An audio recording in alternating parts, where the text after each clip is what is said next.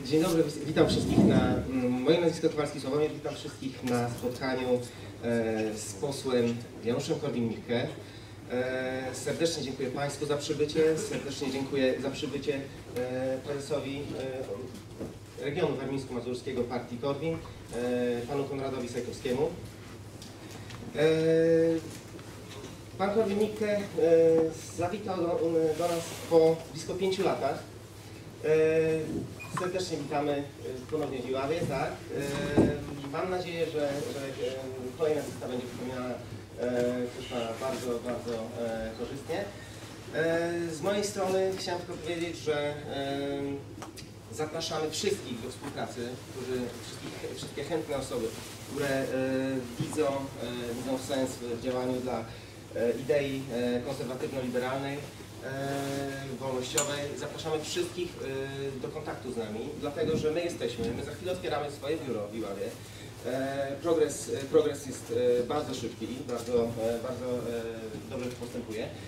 Mam nadzieję, że e, kolejne osoby, które są tutaj, być może kolejne, które do, o nas się dowiedzą, przystąpią do nas. Zapraszamy do kontaktu, mamy swój fanpage. E, W tej chwili, e, w tej chwili oddam już głos e, prezesowi, prezesowi regionu. Jeszcze raz bardzo dziękuję za przybycie.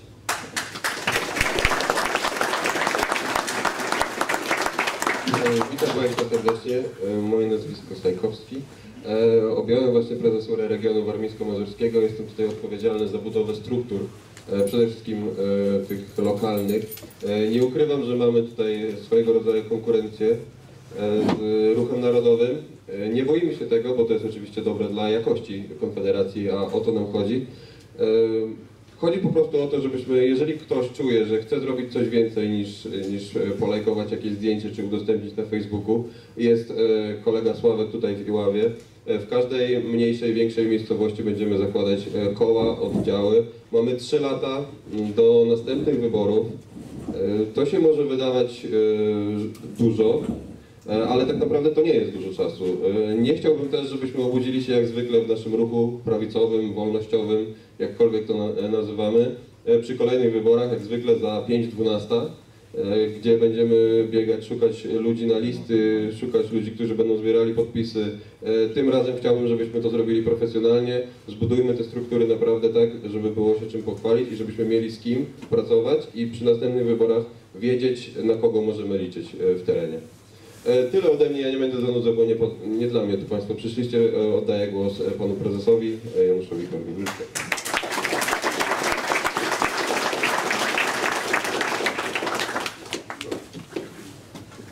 Proszę Państwa, ja jestem prezesem partii tam Korny czy Wolny, tam zależy jak sąd decyduje.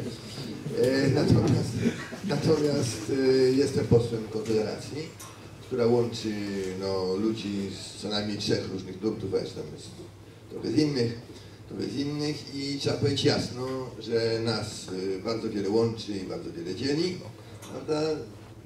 Ale w partii republikańskiej w Ameryce różnice są jeszcze większe, więc tam nie ma co się szczególnie dziwić. Dziwić, y, tak to jest normalne, normalne, rozpiętość poglądów. Natomiast wszystko nas dzieli od tych y, pozostałych partii w Sejmie. Także różnice między nami są znacznie mniejsze niż różnice y, Konfederacji od tych wszystkich, bo to polega na tym, że to jest odmienna wizja człowieka. E, Tamte partie reprezentują wizję właściciela niewolników, który stara się, żeby niewolników było dobrze, czy może niewolników powiedzmy bydlętom albo małym dzieciom, żeby było dobrze. Czyli, że oni wiedzą lepiej od e, tych swoich bydlątek, czy tam dzieci, czy niewolników, co dla nich jest dobre. Natomiast prawica uważa, że chcącemu nie dzieje się krzywda, jeżeli ktoś chce sobie zrobić krzywdę, to ma do tego prawo. Ma się, jak się uczy na błędach, więc żeby się uczyć trzeba popełniać błędy. Tak jest, tak jest, proszę Państwa. Zaraz powiedzą, Korwin Mikke zachęca do robienia błędów, oczywiście jak będzie ty- tytuł na pierwszej stronie gdzieś tam. Otóż, proszę Państwa, oczywiście ludzie się muszą uczyć na błędach, więc trzeba pozwolić im robić błędy. I to jest ta różnica, czy człowiek jest człowiekiem, czy człowiek jest bydlęciem, małym dzieckiem, czy tam niewolnikiem. Przykładowo, jeżeli ja muszę we własnym samochodzie zapiąć pasek, to znaczy, że ktoś się o mnie troszczy, taka na spotkaniu ze mną się pani mówi, panie prezesie, y, to bardzo dobrze, że Państwo każdy będzie pytać pasy, Państwo się o mnie troszczy, Państwo o mnie dba, Państwo mnie kocha, prawda? Otóż, otóż tak, o małe dziecko się dba, o, o te, czasami o kobiety się dba, prawda? O, y, niemowlę, o, niemowlę, o konia przewodnego, na którego się dba, o, o niewolnika się dba, bo niewolnik kosztuje, więc się zabił, byłaby strata. Więc wolny człowiek zabija się na własny rachunek, na własny rachunek i ma do tego prawo, ma do tego prawo. Y, Więc y, człowiek się ma prawo nie ubezpieczyć, bo jak się nie ubezpieczysz, na starość będziesz to trudno. Chcącemu nie dzieje się krzywda, jak sobie pościelesz, tak się wyśpisz, na nas stare, stare europejskie. I powiedzmy, to co jest w tej chwili, ta ideologia, która panuje dzisiaj, ta unijna nazwijmy ją, znaczy to nie jest tylko unijna, to jest taka w ogóle y, idola tej epoki, y, jest dokładnie odwrotna od tego, co było w Europie. Kiedy w Europie rządziły wartości europejskie, takie normalne wartości, dla, dla mnie normalne, to Europa rządziła całym światem. My, biali ludzie, rządziliśmy całym światem, bo mieliśmy najlepsze na świecie wartości, czyli europejskie. Wartości unijne są dokładnie odwrotne od europejskich. To, co w Europie nazwano dobrem, w Unii nazywa się złem i odwrotnie. Prawda? W związku z czym, w związku z czym oczywiście, skoro tamte były najlepsze, to te jak odwrotne są najgorsze. W związku z czym zalewają nas to Arabowie, Murzyni, y, Chińczycy i tak dalej, bo ich wartości są lepsze, a nasze są najgorsze.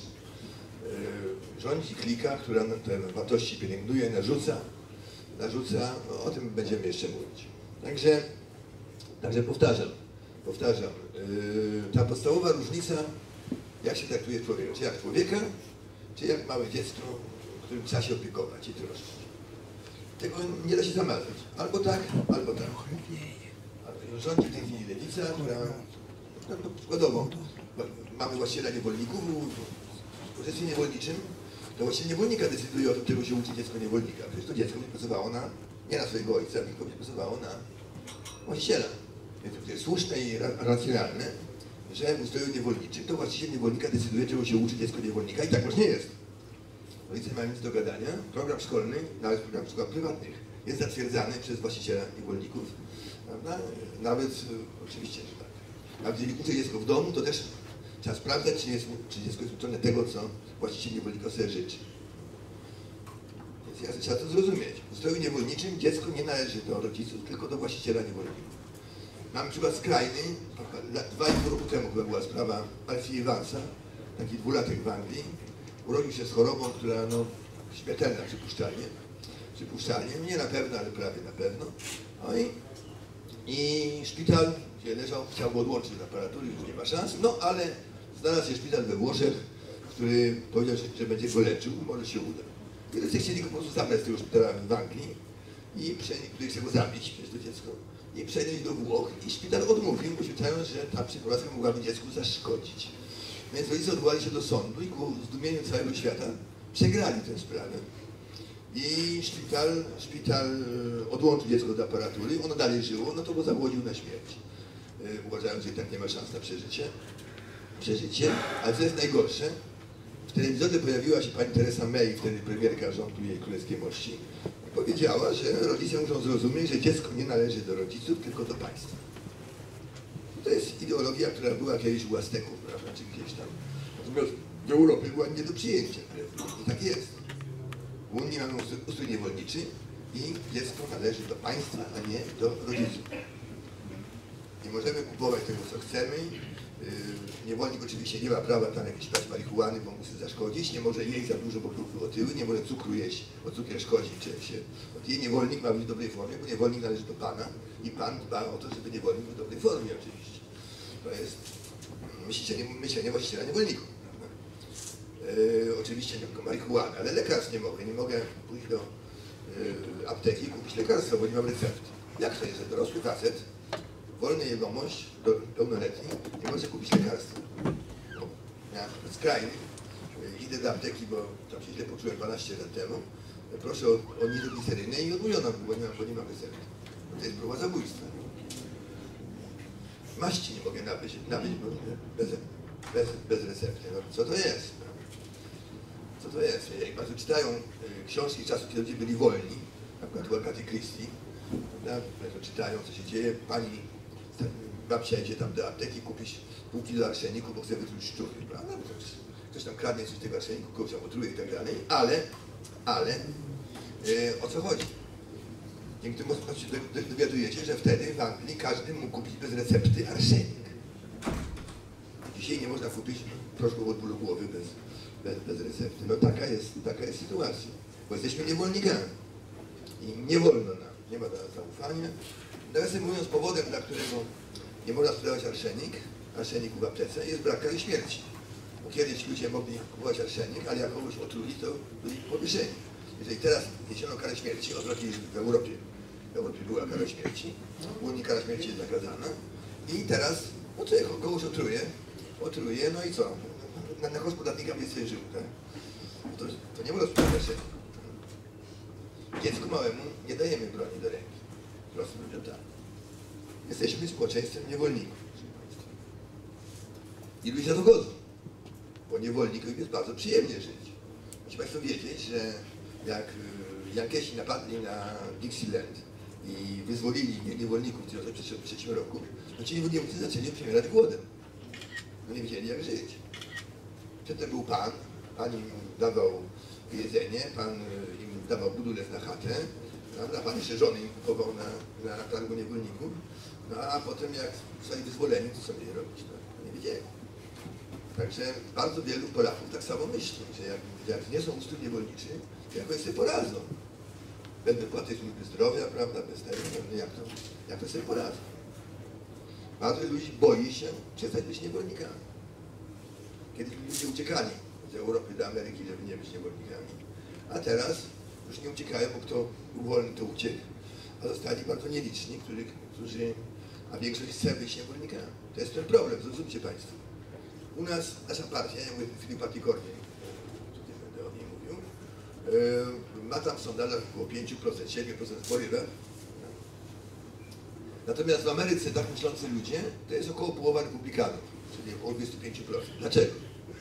Bo te elity, które zawsze o wolności, stanowią około 15% społeczeństwa i z Europy 10% wyjechało do Ameryki, tam jest 25, a nie 15, a u nas zostało 5. I dalej wyjeżdżają. Jak było w poprzednich, w poprzednich wyborach w Londynie, na naszą partię padło y, ponad 50% w Londynie, a to w Londynie. Pojechali ci, którzy chcą mieć wolność. Wiedzą, co to jest praca, że robi pochodzi z pracy, a nie z, z, z dotacji. Wiecie Państwo, no, jak się ludzi traktuje jak małe dziecko, jak niewolnika, to on staje się zwolna niewolnikiem z ducha. Zostaje małym dzieckiem. Dziecko uważa, że mu się należy, za darmo, daj. No i tak samo właśnie dzisiaj ludzie dorośli. Mówią, daj, bo nam się należy. To jest właśnie naruszenie tej ideologii, że człowiek nie jest dorosłym człowiekiem, a tylko małym dzieckiem, czy tam niewolnikiem, czy, czy bydlęciem. Daj. Należy się. Mojemu psu też się należy, jak psu prawda, mu się należy zupa i koniec. Musi, nie musi dostać. Tak uważają dzisiaj ludzie, że im się należy za darmo. Dzisiaj się nie wierzy, że do, dobrobyt pochodzi z pracy, tylko że dobrobyt pochodzi z dotacji. Tak jak małe dzieci wierzą, że pieniądze pochodzą ze ściany, prawda? Tak? tak? Dorośli wierzą, że bo- bogactwo bierze się z dotacji. To jest oczywistym, oczywistą nieprawdą. I popatrzmy teraz na, na, na przykłady. Mamy państwo, które było niewolnictwo, było znacznie gorsze. Socjalizm, był niewolniczy. Y, To, proszę Państwa, znacznie gorsze to Chiny. W Chinach, Chiny 35 lat temu były 20 razy biedniejsze od Polski. 20 razy biedniejsze od Polski.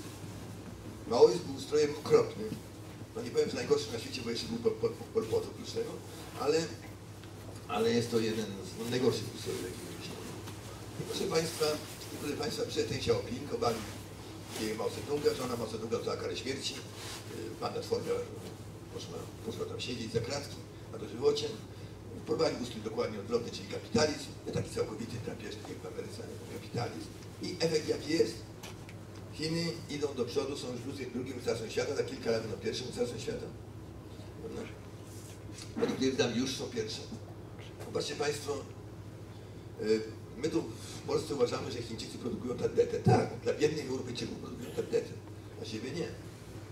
Na siebie nie. Jak w Polsce udało się, dwa lata temu już wielki sukces myśli technicznej, udało się rozpędzić pociąg, włoski zresztą, na odcinku 10 km do 200 na godzinę, do 200 na godzinę jechaliśmy przez 10 km. W Chinach wszystkie większe miasta połączone są pociągami, jeżdżą 300 na godzinę i to jest nieprawda, co powiedziałem, ponieważ jest to prawda sprzed dwóch lat. Dzisiaj jeżdżą 350, a w przyszłym roku będą jeździły 400 na godzinę, a planują pociągi 300 na godzinę. Pociąg już od kilku lat, pociąg Szanghaj do portu lotniczego, tak się prawda, jedzie 500 na godzinę. To nie jest żaden księżyc. Jesteśmy skansenem w porównaniu z takimi krajami jak Chiny czy Malezja, czy jesteśmy skansenem. Europa, gdzie jest ustrój niewolniczy, stała się, stała się powoli skansenem. Cały postęp przeniósł się gdzie indziej, gdzie indziej. Chińczycy mają, jako pierwsi zrobili bazę na odwrotnej stronie Księżyca, Chińczycy pierwsi będą na Marsie, Mają lotniskowce, rakiety, broń jądrową, najszybsze w tej chwili rakiety międzykontynentalne, e, międzykontynentalne. Ale co jest najważniejsze dla mnie? Bo, no, w Chinach buduje jednostopiętrowy dom w 6 dni. No, ludzie mi nie wierzyli, jak to mówiłem, ale naprawdę to się buduje. Oni nabudowali tyle, że, że trochę przechorowali, mają za dużo mieszkań w tej chwili. E, Rozpędzili się. I tak samo było, jak wybuchła ta epidemia, epidemia koronawirusa w mieście Wuhan, to e, ten, to rząd powiedział, a to my wybudujemy szpital na tysiąc łóżek w tydzień. No nikt nie uwierzył, się śmieli w tydzień. I rzeczywiście pomylili się, budowali w tydzień, ale na 1600 łóżek. Pomylili się trochę, no, rozpędu. Także, proszę Państwa, to, to pokazuje wyższość techniki chińskiej prawda? i swobody chińskiej, bo tam nie trzeba tylko papieru, tylko biurokracji, prawda? wszystko działa. Mój znajomy, mój znajomy mieszka w kantonie, tam woził mnie po mieście, patrzę, że nie ma tablicy rejestracyjnej. Nie ma tablicy, bo miasto kanton sobie życzy, żeby, żeby, żeby ograniczyć ile, samochodów nie wydaje tablic, więc je- je- jeździmy bez tablic. Jezdząc bez tablic zaparkował koło samochodu policyjnego. Nic. Nie, nie przeszkadza. A, nam jeszcze, on nie ma również prawa jazdy. E, I, I proszę Państwa, tam też są jakieś przepisy w tych Chinach, ale niekoniecznie są przestrzegane. Co mnie najbardziej zszokowało, to że, to że byłem na kolacji za pana U i pan U na zaś go spotykam na mieście, on taką siatkę wisi jako reklamówkę, sobą wypchaną, tak patrzę podejrzliwie, a tu mówi, no tak, jest kupić dwa mieszkania, to ma pieniądze. A, a ja mówię, to rząd się nie pyta, skąd ma pieniądze, a pan uzdębiał. Mówi, jak to przecież, przecież dlaczego to, to, to moje pieniądze, na, dlaczego, czy to nie są rządowe, to, to moje pieniądze, gdzie, gdzie te bukany, gdzie szkoła, to, to moje, zarobiłem uczciwie. Proszę Państwa, po 35 latach od maoizmu Chińczyk jest wolnym człowiekiem. A niewolnik w Europie uważa, że on ma prawo go pytać, skąd ma pieniądze, prawda? Yy, zaglądać mu do, na, na rachunki bankowe, yy, kontrolować wszystko. Jesteśmy niewolnikami. I ludzie się na to godzą. Dlatego jest zastój w Europie, jak mamy tam 3% rozwoju, to jesteśmy dumniejsi. To jest kompromitacja zupełna, no to co się dzieje, jeśli chodzi o rozwój techniki.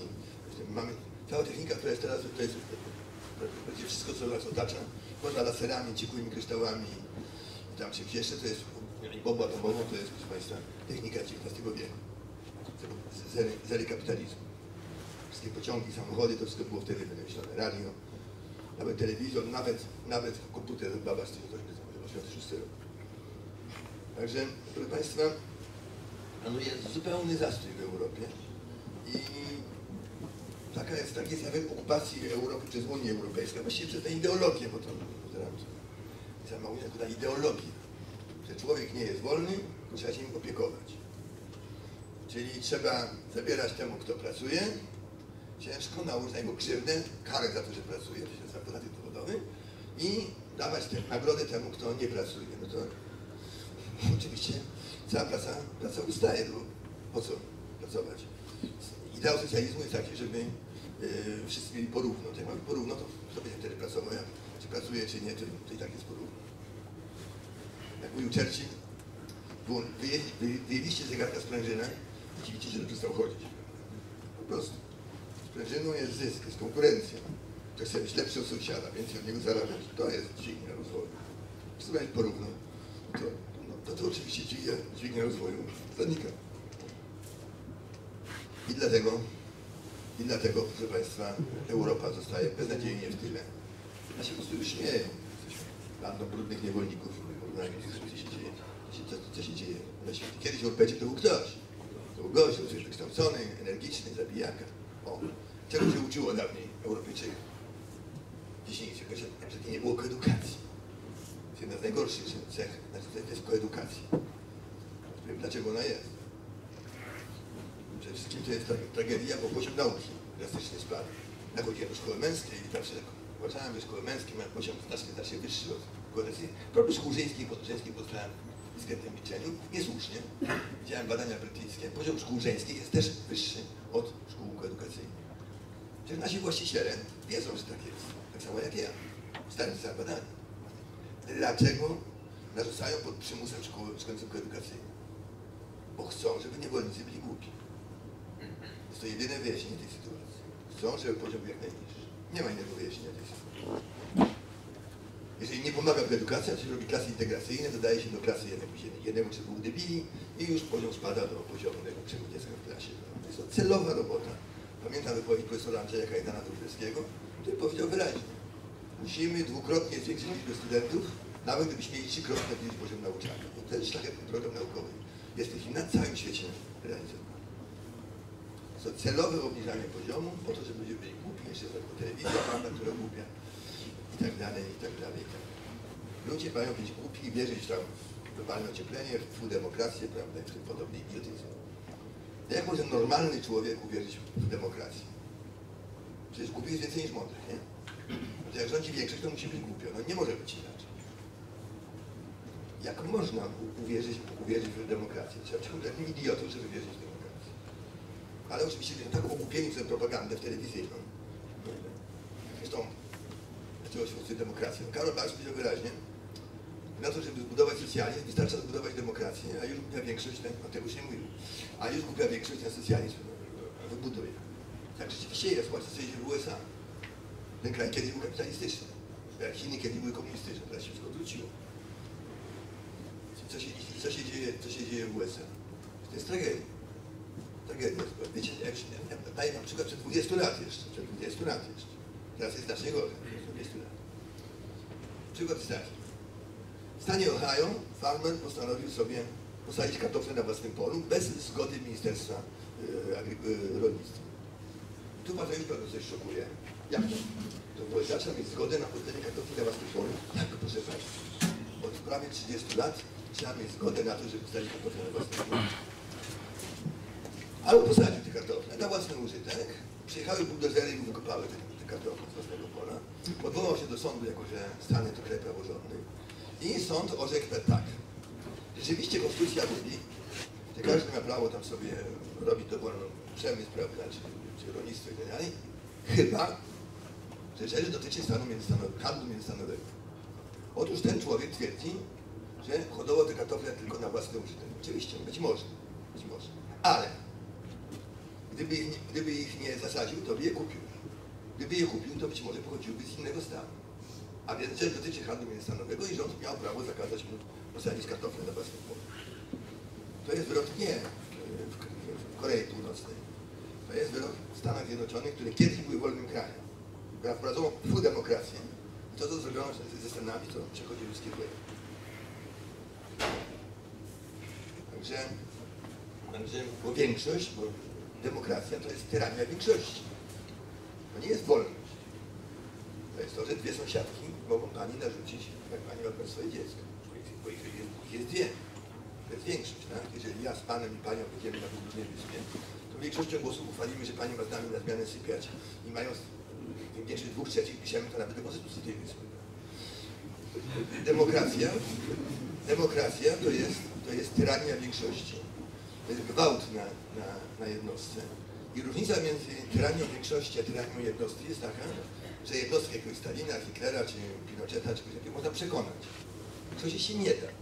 Na to, żeby zostać królem, zostać dyktatorem, trzeba mieć coś w głowie. Trzeba umieć zdobyć to stanowisko. Żeby głosować w wyborach, to trzeba nic. Głosują dowolni debile. Dlatego Stalina można było przekonać, natomiast nie ma możliwości przekonania większości.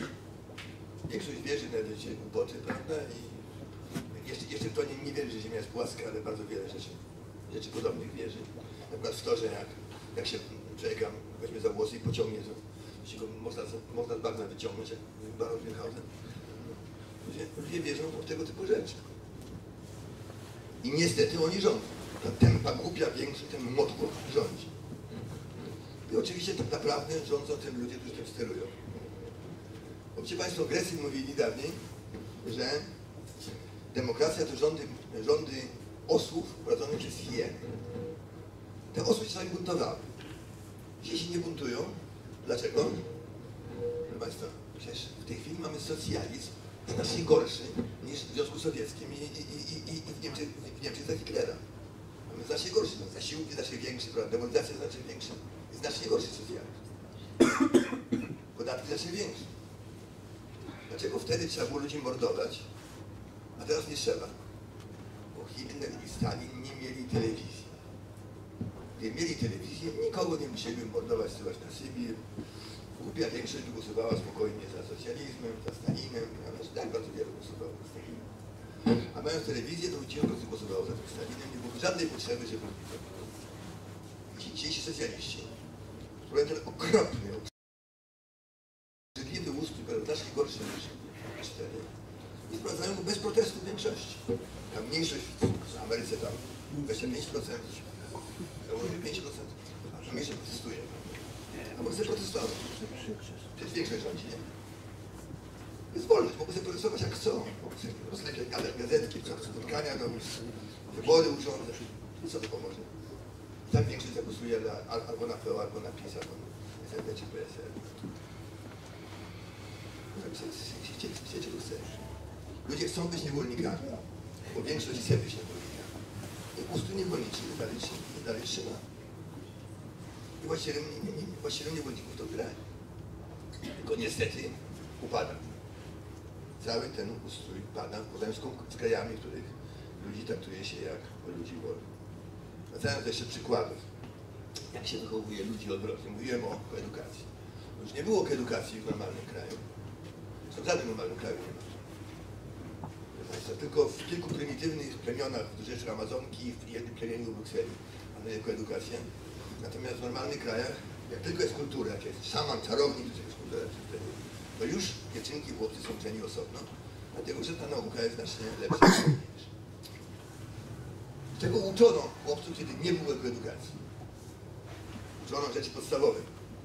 Rodzice uczyli tego chcieli. Chłopak ma być agresywny. Chłopak ma się bić. Bo podstawowa zasada, ciężar jego człowieka, chłopiec ma się bić. Mężczyzna ma być gotów bić i umierać w obronie kobiet i dziecka, w obronie wiary, ojczyzny, tam, yy, różnych tam impeterabiliów, prawda, sprawiedliwości, tam. Różne cywilizacje mają różne impeterabilia, ale w każdym razie mężczyźni musieli być gotowi na to, żeby się bić ich obronić. Tak, zawsze musiało być. Kobiety i dzieci cenią sobie bezpieczeństwo, zawsze były, były trenowane zwyczaje, żeby ty, tygrysa blisty rozleżał, a mężczyźni brali maczugę w łapę i musieli iść polować na mamuta, no bo inaczej rodzina by tego rozmowy. To jest normalne. Kobiety cenią sobie bezpieczeństwo, tak powinno być, a mężczyźni cenią sobie ryzyko. Tu wszyscy faceci na sali mają lat 78 jak ja, czy, czyli 15, bez najmniejszego wahania wyjdą stąd, wsiądą na motocykl i pojadą. A przecież to jest niebezpieczne, prawda? Sobie popatrzycie na Extreme Sports w telewizji, tam biegają na motocyklach, tam rowerach, to faceci. Wszystko faceci. Bo my się nie boimy ryzyka. I oczywiście rządzić powinni ludzie, którzy się nie boją ryzyka, umieją ryzykować, są agresywni. W interesie kobiet leży, żeby rządzili mężczyźni, a nie kobiety. Jeżeli państwo jest rządzone przez kobiety, no to będzie takie herlawe, takie kobiety będą delikatne, miłe, sympatyczne. Tylko niestety inne państwa rządzone przez ludzi niemiłych i niesympatycznych po prostu wygrają państwem rządzonym przez miłych i sympatycznych ludzi. No, taka, jest, tak, taka jest prawda. Popatrzcie Państwo na kobiety, które chcą coś osiągnąć. Siatkarki, koszykarki, piłkarki, ręczne, nożne, brydżysty, szachisty. Wszędzie w tych drużynach kapitanem jest facet. Trenerem jest facet. Bo one chcą wygrać. Więc wybierają sobie na szefa mężczyznę. To samo tyczy państwa. To samo tyczy państwa. Państwo ma wygrać, to musi zrobić mężczyzna, bo przynajmniej kobieta od tej jak pani Taczerowa na przykład. Raczej, raczej by się to na modelkę nie nadawała, ale za to, za to miała mówiono o niej, że jest jedynym facetem w rządzie, który nosi spodnie. Także, także to jest, to jest, to jest, yy, co nosić nosić spódnicę, chodziło o to, spodnie w sensie, w sensie oczywiście, ona była agresywna i walczyła o swoje. Także to jest podstawowa, podstawowa sprawa. Jeżeli mamy, jeżeli mamy, mamy rządzić, to rządzić państwem muszą mężczyźni, a nie kobiety. Dlaczego tym, co rządzą, tak mi strasznie zależy, żeby, żeby kobiety miały najwięcej do, do powiedzenia? Bo kobiety się nie zbuntują. Mężczyźni dlaczego mają być potulni? Żeby nie było buntu niewolników. Dlaczego kobiety, bo kobiety się nie zbuntują. Dlatego tak pchają kobiety na, na, za wszelką cenę na tych stanowiskach, żeby ko- było jak najwięcej kobiet, właśnie po to, żeby nie było buntu niewolników. Kobiety będą głosowały za państwo opiekuńcze. Nie mówiłem kobiety tam, które siedzą w bezpiecznych pieczarach, prawda? I one potrzebują bezpieczeństwa. I kobiety będą głosowały za bezpieczeństwo. Dobra. Rozwój pochodzi nie z bezpieczeństwa, z ryzyka. Jedyny motor rozwoju to ryzyko. Coś zrobić, trzeba ryzykować. Ludzie to są ślimaki. Powie, ryzykuje. Jak ryzykuje? Facet pożycza pieniądze, zakłada firmę, ryzykuje. Sprzedaje, sprzedaje mienie, jedzie do Ameryki, ryzykuje. Tak? Pożycza, pożycza, pieniądze, coś, coś robi, znalazek robi, ryzykuje. Teraz może nie wypalić. Z góry wiadomo, że on wypali, to no i mu znalazek. Kobieta wychodzi mąż, ryzykuje, może będzie pił, może będzie wypił, nie wiadomo. Kobieta rodzi dziecko, ona ryzykuje, może umrzeć przy porodzie. Każdy postęp pochodzi z ryzyka, a nie z bezpieczeństwa. Kto głosi bezpieczeństwo, ten zabija społeczeństwo. Trzeba głosić hasło, kto nie ryzykuje, ten nie je. Ja byłem, byłem uczony, kto nie ryzykuje, ten nie je, a was się uczy przezorny, zawsze ubezpieczony. To ślimaków, a nie społeczeństwo ludzi wolnych. To są po prostu zupełnie inne wartości. A ci muzułmanie, oni muszą wygrać oczywiście, bo oni są normalni, nie ma tam jakichś równokrewnych kobiet, są normalni ludzie. I oni muszą wygrać. Oni muszą wygrać. U nich chłopiec, który ma coś na kształt bierzmowania naszego, w wieku lat 9 to jest mniej więcej, to on musi, ten chłopak własnoręcznie, mieczykiem zabić baranka na ofiarę Izaaka. Wiedzą tym samego profesory, na ofiarę Abrahama Izaaka. Ten, ten dzieciak ma zabić tego baranka. Dzieci umieją zabijać. Tak powinno być. Kobiety są do tego, żeby dawać życie, a mężczyźni są od tego, żeby wroga razie zabić. I, proszę Państwa, taka specjalizacja. Oczywiście mężczyźni mogą być chcieli odwrotnie, ale dzieci na razie rodzić nie będą. Więc, więc muszą przynajmniej umieć, umieć zabijać w obronie swoich kobiet i dzieci.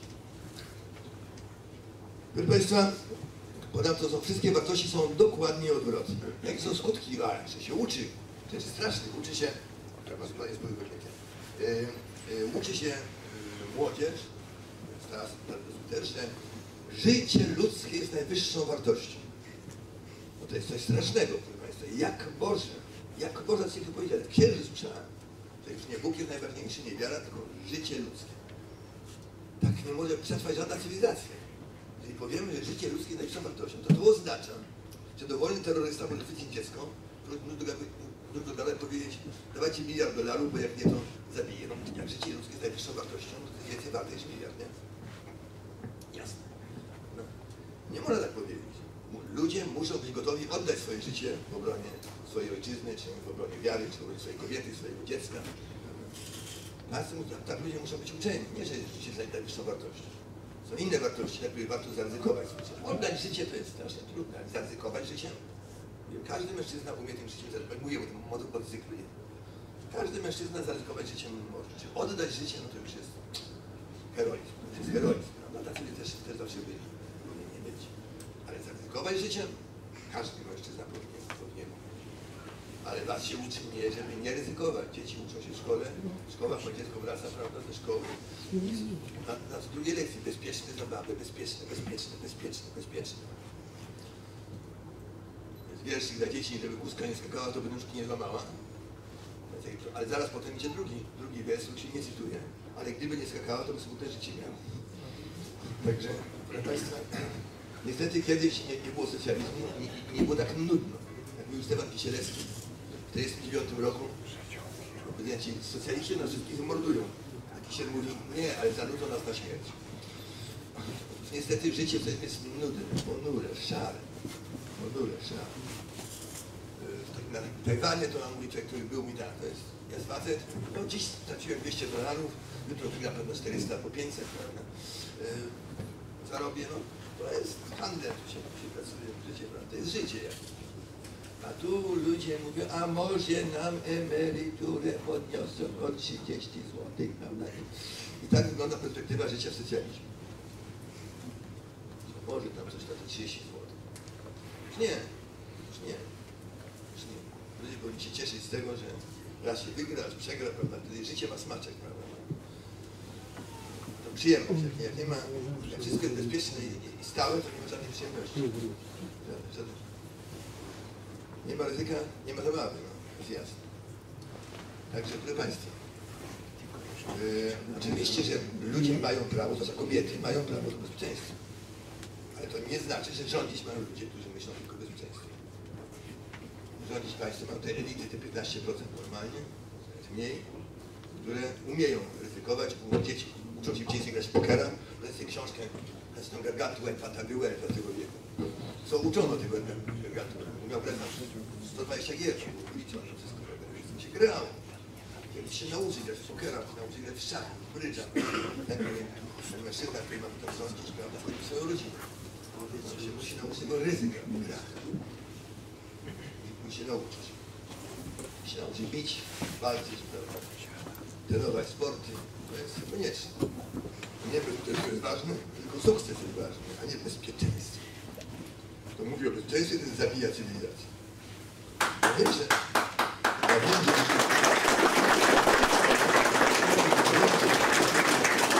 Ja wiem, nie wygramy wybory, ani my, ani narodowcy, ani nikt nam, ale my nie chcemy wygrać tych wyborów, chcemy 15%. Chcemy odbudować te 15% elit, elit, które będą umiały ryzykować, będą się bały ryzykować? Yy, będą wiedziały o co chodzi i dlaczego jest, jest, jest, jest tak źle, jak jest w tej chwili, prawda? I dlaczego pomalutku i grzecznie minie to nie. To jest, to jest istotne. Skutki te, takiego, takiego, takiego tłumaczenia, że życie ludzkie najwyższą wartością są ko- koszmarne. Przykładowo yy, Srebrenica, prawda? Lat temu, chyba 15, były tam wojny, wojny na, na Bałkanach. No i tam mordowali się wzajemnie, tam, tam, takie, takie mają obyczaje na Bałkanach, co kilkanaście lat się muszą mordować. No i yy, posłano tam wojska ONZ-u i konkretnie dwa bataliony holenderskie, uzbrojone pod zęby, obitne hełmy, Nations, tam wszystko.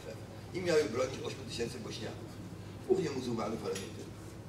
No i przyszła gromada Serbów tam uzbrojonych w karabiny na sznurkach i powiedzieli, że wydać tych bośniaków, bo jak nie to będą strzelać. No. Życie ludzkie jest najwyższą wartością, w związku z czym dzieli żołnierze holenderscy się pochowali do piwnic, a tam ci mordowali wszystkich bośniaków. Trzeba przyznać, że nawet niewiele bociaczek zgwałcili, stracili w autobusy i odesłali. Eee, na- najpierw wymordowali 4000 ludzi. Otóż według wartości europejskich, takich żołnierzy się kładło na ziemi i coś się temu się strzelało w łeb. Wojsko tłuszliwe było środkowane. A ci żołnierze holenderscy wrócili do ojczyzny i w 10 lat po tych wydarzeniach zostali przez królową Wilhelminę, dostali medale za służbę w Bośni. I jak ja mam patrzeć w oczy tych muzułmanów? Przecież jak oni nas traktują, rozumiecie? Jak oni nas traktują? Biega, biega klip, klip po, po tym internecie, stoi sobie, bieg, stoi taki facet z nożem w Londynie i siedmiu policjantów stoi naokoło, nie wiedzą co z nim zrobić. Nie mogą podejść. Życie ludzkie lepsze wartości, nie będą ryzykowały. Europejcy stał się karykaturą człowieka. Jeżeli nic nie zrobimy, to przyjdą muzułmanie. Znaczy kobiety pójdą do, do haremów oczywiście. I będą zadowolone. Jak mówił Jerzy Bernard Shaw, prawdziwa kobieta woli być czwartą żoną prawdziwego mężczyzny niż jedyną żoną fejtułaka. Tak? Lat temu trzy pojechała sobie parka, parka tam na Ksiuty pod, do w Berlinie, pod, pod Berlinem. Yy, Pod namiot przyjechał jakiś, jakiś nachodźca, chwycił dziewczynę za włosy, wyciągnął, zgwałcił, a facet siedział w namiocie, ten mu groził, że, że zrobi z nim, z nim porządek, bo tam udusi czy coś tam. Tam siedział, no bo życie ludzkie najwyższą wartością. to po co kobiecie taki mężczyzna? Ona woli tego uzupełnienia. Kobiety lubią mę- mężczyzn agresywnych. On może, może w tyłę, ale za to obroni ją dziecko. Dziecko trzeba napastnikiem. A to musi być agresywny. Kobiety to czują, kobiety no, jak najbardziej cenią mężczyzn, agresywnych, poza może feministkami, które same agresywne są. Ale, ale no normalne kobiety. tak. Także proszę Państwa, wszystko jest dzisiaj dokładnie odwrotnie niż było w Europie. I skutki są dokładnie odwrotne. To nie my. Mamy krótki wybór. Albo te wszystkie partie poza Konfederacją, które są w Sejmie, wrzucamy za burtę. Albo niech rządzi którakolwiek z nich wszystko jedno, bo to nie ma żadnego znaczenia. Jeśli ludzie przechodzą z PO do PiS, z PiSu do, do, do SLD, do, do tego, to nie ma żadnego znaczenia. To układ okrągłego stołu powstał przecież, nie wiem czy Państwo wszystko zdajecie sobie sprawę, jak powstała trzecia Rzecz- Rzeczpospolita. Powstała w ten sposób, że doradcy generała Jaruzelskiego doszli do wniosku bardzo słusznego, że trzeba zrobić reformy gospodarcze. Bo socjalizm jest dupy nie da się dalej tak żyć.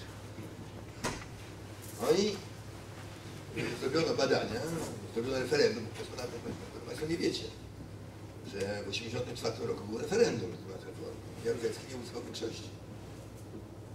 Co tu robić w tej sytuacji? No, trzeba zastosować się do zasady znanej w ksi- książce Cięcia dla Meduzy Lampard. Napisane, bardzo wiele musi się zmienić, żeby wszystko stało tak, jak było. No, bardzo wielką zmianę. I przekazano władzę PSPR do agentów, do agentów, do agentów bezpieczeństwa. No, stole, przy, przy dobrego stołu, kto wybierał ludzi dobrego stołu? Czy jakieś wybory? Może papież się wskazywał, albo Reagan, albo ktoś? Nie. Generał Kiszczak. Wszyscy przy okrągłym stole zwałem są na czele, czy prawie wszyscy to byli po prostu agenci bezpieczeństwa. Dostali polecenie, prawda, tych tam, wiesz, zamiast to tak, rzeczywiście takie mieli poglądy, tak, tak wybierano.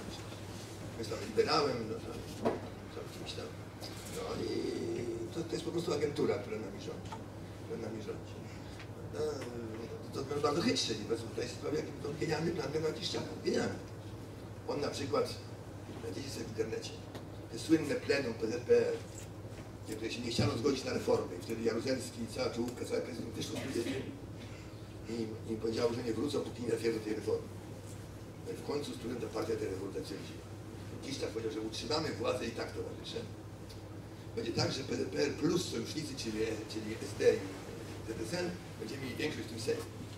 No i jak to się zgodzili, Sejm, ten Sejm wybrano, ten Sejm taki przejściowy, wybrano natychmiast agenci generała Kiszczaka w SD i w to jest- to były agentury przecież komunistyczne, zagłosowali na polecenie Kiszczaka za Solidarnością i wtedy mm, wyjęto władzę, wyjęto władzę i, i, w tej chwili zrobiono zmiany, które tak naprawdę nie żadną zmianą. To jest inny socjalizm, yy, eurosocjalizm, ale zmieniono, ludzie uwierzyli w nowe i pozwolili na taką zmianę jak, jak uwłaszczenie, prawda, prywatyzację i tak dalej. To nie pozwoli PZPR-owi, a Solidarność pozwoli.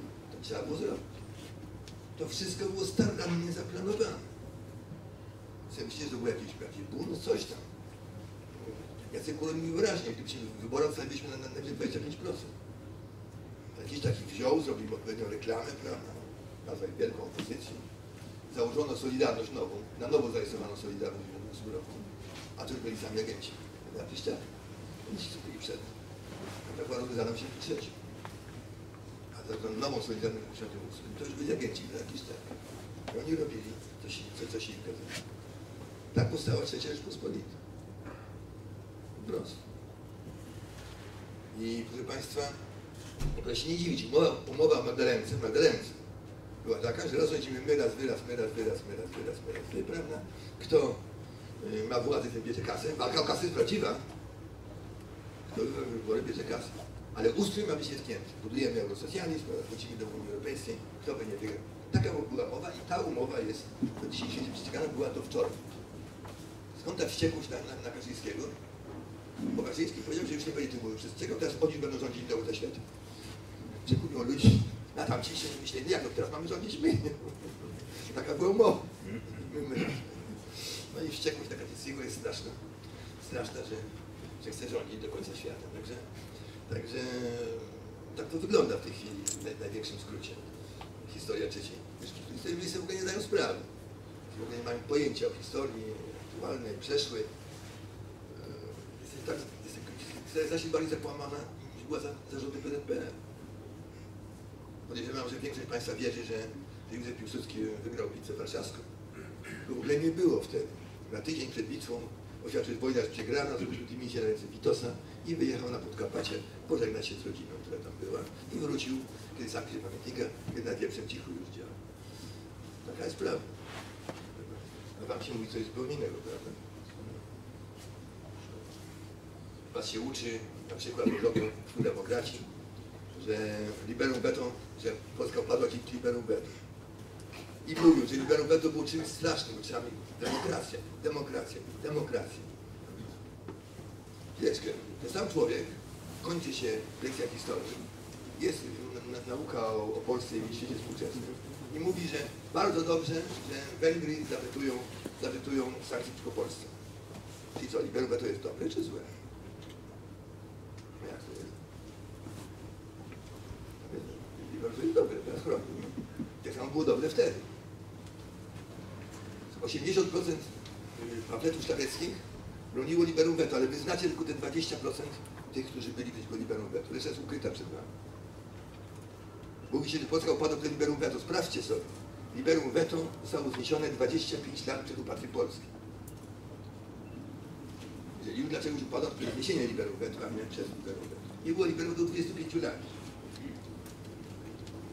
Okłamuje się bo musi być demokracja, tfu, demokracja. Okłamuje się was na każdym kroku, w każdej sprawie. Ludzie nie wierzą, na przykład miałem, miałem dyskusję na lubelskim uniwersytecie, łódzkim uniwersytecie, gdzie to większość słuchaczy to były kobiety, większość słuchaczy, większość to, to, to, to były kobiety. No i, mówię, że no, dowodem na to, że, że kobiety są średnio mniej inteligentne od mężczyzn jest to, że wśród stu najlepszych szach- szachistów jest czasami jedna kobieta. One mi nie uwierzyły. One były przekonane, że wśród szachistów jest 50% kobiet na najwyższych. Byłem absolutnie przekonany. Takie uczone na uniwersytecie. Ja na przykład był taki moment, gdzie się mówi, że kobiety, o, na przykład był taki rok, kiedy kobiety po raz pierwszy uzyskały więcej ty- ty- tytułów, więcej dyplomów w wyższych uczelni niż mężczyźni. Teraz mają znacznie więcej. Znacznie więcej kobiet kończy wyższe studia niż mężczyźni. W tym roku właśnie poszedłem do Urzędu Patentowego i sprawdziłem, jaki procent wynalazku dokonały kobiety. Półtorej procent. I był to z reguły wynalazki typu pomieszać dwa oleje ze sobą i będzie z tego trzeci olej. No. Nawet, nawet tampony OB wymyślił, wymyślił facet. Nawet MOPA wymyślił facet mówił zresztą. Otóż Kobiety są bardzo miłe osoby, bardzo się, bardzo robią, są typy klasy, kobiety są znakomicie lepiej od nas, znacznie są mądrzejsze od mężczyzn. Są mądrzejsze od mężczyzn. Dowodem na to, że kobiety są mądrzejsze. Inteligencja jest wtedy mądrość. Dowodem na to, że kobiety są mądrzejsze jest to, że jeszcze nikt nigdy nie widział kobiety, która bie- biegałaby za facetem dlatego, że ma ładne nogi. Kobieta chce jest osobą inteligentną, ona chce, żeby ona chce, żeby facet był silny, wysoki, prawda, yy, inteligentny i tak dalej, żeby mieć pochwalić przed kol- koleżankami. No, no to czy ma ładne nogi, to ich, to ich nie interesuje. A mężczyzna zachowują się nieracjonalnie. Kobiety zachowują się racjonalnie. Mówię, bo- bo ludzie mylą inteligencję z mądrością. To jest zupełnie co innego. Ludzie mają IQ 200 i umieją sobie dać radę w najprostszych sytuacjach życiowych. Także, także to zupełnie inne rzeczy. Trzeba to doceniać. Jest po prostu i kobiety to inny świat, robią co innego, inne role, nie ma tego mieszać ze sobą. Mieszać ze sobą. Na przykład kobiety bardzo uwielbiają co robić? Zakupy. Prawda? Kobiety uwielbiają robić zakupy. Tak, bo to jest ważna rola kobiet. Jeżeli kobiety zdoła robić zakupy tak, że na, nabędzie towary 30% taniej niż, niż średnia, to jest to samo, jakby jej mąż zarobił 30% więcej. Po prostu. I ona to powinna umieć. Umieć znaleźć dobry dla niej towar. Jeżeli ta kobieta będzie rządziła, jak te kobiety rządzą? szukając dobrych tanich towarów, zmuszają producentów do robienia dobrych tanich towarów. Ta kobieta rządzi. Jak jest wolny rynek, to rządzi ta kobieta, która chodzi od sklepu do sklepu i szuka najlepszych, naj, naj, najtańszych towarów. Ona zmusza producentów do robienia. Natomiast jak nie ma wolnego rynku, to producent daje łapę jakiemuś urzędnikowi i ten urzędnik spokojnie prawda, pozwala mu robić to, co, e, co chce, prawda, chroni go przed konkurencją. Wolny rynek to są rządy kobiet, ale konsumentek. Bo, bo was się uczy, najważniejszy jest, najważniejszy jest przemysł. Nie. Najważniejsza jest konsumpcja. Celem produkcji jest konsumpcja. Ten kraj jest, nie ten jest najlepszy, ten produkuje, tylko ten, który najwięcej konsumuje. Już nie żyje z zaszłości. Czyli krótko mówiąc, jeżeli my eksportujemy węgiel, to nie po to, żeby pozbyć się węgla, tylko po to, żeby za ten węgiel kupić sobie załóżmy telewizor. Celem jest import telewizorów. Eksport węgla jest tylko smutną koniecznością. Gdyby nam dawali telewizory za darmo, to byśmy nie eksportowali węgla. Z tego, co, co, tam, co eksportuje. Celem jest import, a nie eksport. Wbrew temu, co Państwo mówią. Ten, kto mówi, że trzeba eksportować, stawia wóz przed koniem. My chcemy coś kupić, żeby to kupić, musimy coś sprzedać. To jest istotne. To jest istotne. I najważniejszy jest konsument. Na prawicy nieważne jest, nieważne jest dobro kapitalisty czy tam robotnika. Najważniejsze jest dobro konsumenta. Nas nie interesuje związek zawodowy szewców czy krawców, nas interesuje związek zawodowy tych, co noszą buty i tych, co noszą ubrania. Ci mają rządzić, a nie ludzie pracy. Specjaliści mają rządzić ludzie pracy. Nie! Człowiek pracy ma na dwóch łapkach służyć człowiekowi konsumpcji. Bo celem jest konsumpcja, a nie, a nie, a nie produkcja. Człowiek pracy ma pokornie słuchać tego, tego konsumenta. Celem szpitala nie jest to, żeby lekarz miał pracę i pielęgniarka miała pracę, tylko żeby chorzy mieli dobrą opiekę.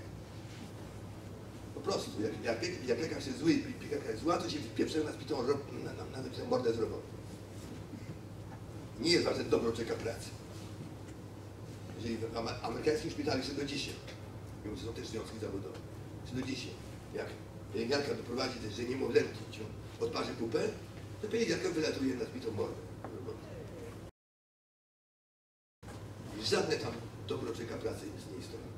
Ważne jest dobro tego niemowlęcia, żeby jego pupa nie była odparzona.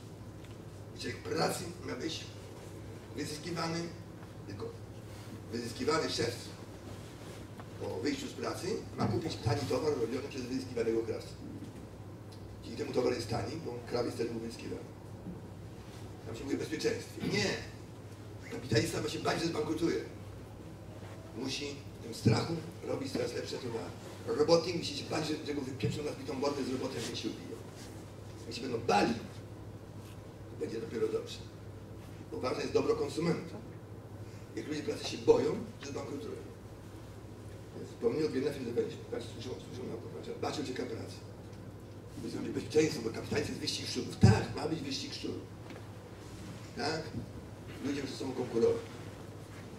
To jest całkowicie odmienna filozofia niż ta, Państwo tutaj słyszą. To się różni prawica od wszelkich odłamów. No ja mógł tak ga- gadać du- dużo, ale Państwo zrozumcie, najważniejsza to jest ta podstawowa zasada. Czy traktujemy człowieka jako istotę odpowiedzialną, która sama decyduje o sobie, czy też traktujemy jak niewolnika, czy tam małe dziecko, czy czy- To jest różnica między prawicą a lewicą. Ja zostawię Państwu teraz czas na, na pytania i dyskusję. Bo i tak zaraz, zaraz są wyrzucą, żeby jechać do, do. Tak, do. Także muszę, muszę, będę musiał niedługo kończyć, ale jeżeli Państwu zostawię na, 名越武明です。